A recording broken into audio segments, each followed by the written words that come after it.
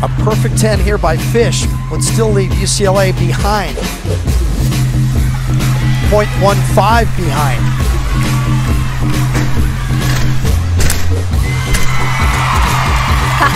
Creative jump right out of the tumbling. Big stag jump.